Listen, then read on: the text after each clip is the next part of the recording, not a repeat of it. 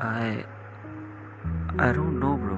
It's always like I feel like the past always catches up with me one way or the other, and every time it does, it's like everything is just you know back to square one, and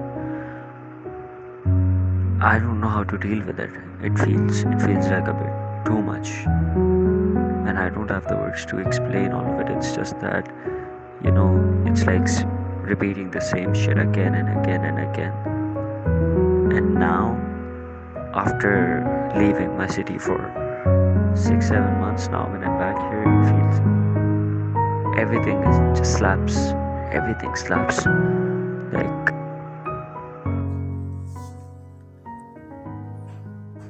I'm a slave to the rhythm.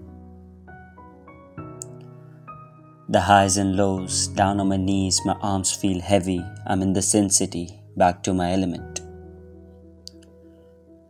Feel the misery creeping up on the back and shoulders again, the empty space between the cracks, feel the pain in the air. No, the air is in pain. Pass it on to the lip hole, through the cracks of my heart will it blow, like a song from a flute? Then watch you dance on the floor, like flames burn the stage of wood. And watch all souls advance towards you for the night, for your light provides the element to survive up until the dawn arrives. And watching you being watched, it enhances the pain, brings me to self, call it the curse of creativity. Cause I love my art more, so I run towards the toxicity. All this envy, that it breed within me. Snatch my peace from these pieces, let me write more. Write until all that remains is peace.